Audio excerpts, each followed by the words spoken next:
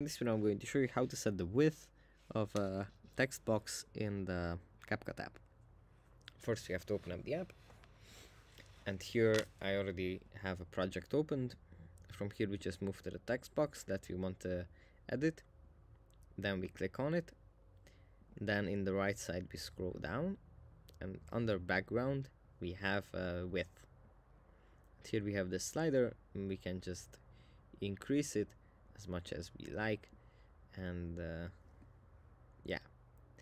That's basically it for this video. I hope it was uh, helpful for you guys and I'll see you in the next one. Bye